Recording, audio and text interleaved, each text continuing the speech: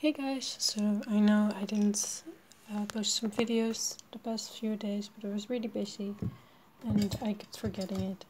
But I wanted to, well, I do want to continue making videos. I uh, bought, it's really hot here, so I bought this uh, stone.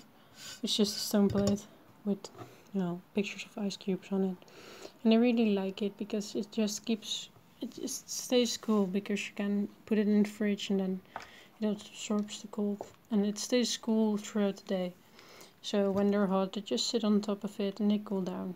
And I really like doing that, and it's really a useful or a good way to give them the choice of cooling down. And this way, you make sure you don't make them too hot or too cold or too hot, so they just stay the right temperature.